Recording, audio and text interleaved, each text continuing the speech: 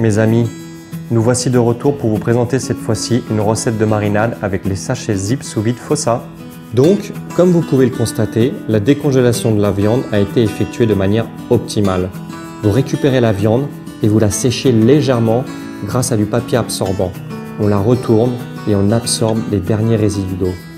Ensuite, on la récupère et on la place soigneusement dans le sachet zip Fossa.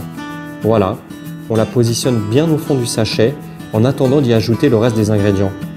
Voilà, maintenant vous avez positionné votre viande à l'intérieur.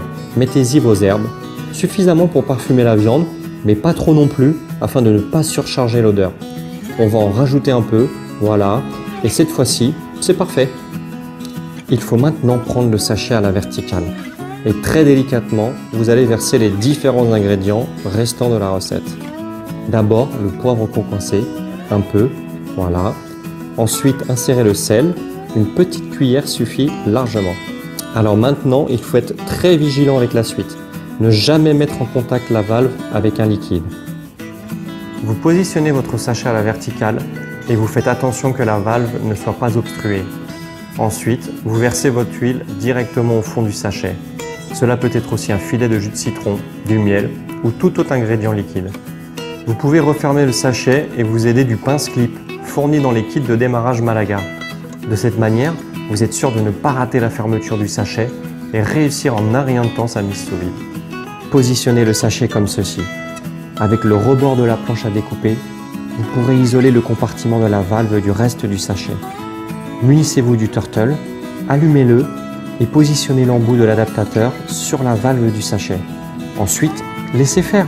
Le turtle se charge du reste. C'est incroyable. Regardez, la mise sous vide démarre. Alors attention, vers la fin du processus, surveillez que la marinade ne parvienne pas au niveau de la valve. Et voilà, la mise sous vide est effectuée. Au moment où le liquide risque de rentrer au contact de la valve, éteindre le turtle et le retirer de la valve du sachet. Ceci afin de sécuriser votre processus de mise sous vide. Nous y voilà. Pendant le processus de cuisson sous vide, il faut bien maintenir le sachet sous vide à la démarcation indiquée sur celui-ci. Vous voyez, il y a la limite indiquée sur le sachet. Vous le positionnez et vous pliez le sachet.